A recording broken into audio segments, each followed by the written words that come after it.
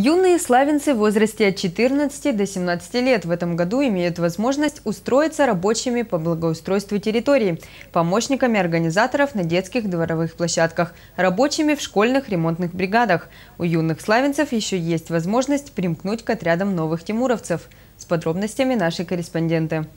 Временное трудоустройство юных славянцев в отряд новых тимуровцев в нашем городе очень востребовано и пользуется у подростков большим спросом. На сегодняшний день в новые тимуровцы записалось порядка 150 человек. Этим летом э, на реализацию направления новые тимуровцы э, было выделено, из бюджета э, средства для того, чтобы ребята были трудоустроены в трудовые бригады по этому направлению.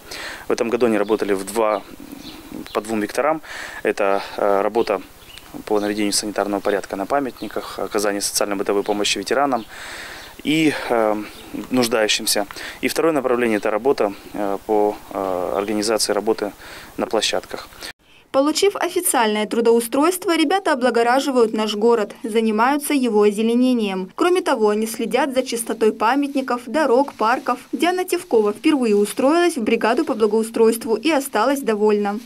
Со 2 августа я принята в новое движение «Тимуровцы». Мы помогаем городу, мы делаем его чище, мы делаем его красивее. Сюда едет больше народу.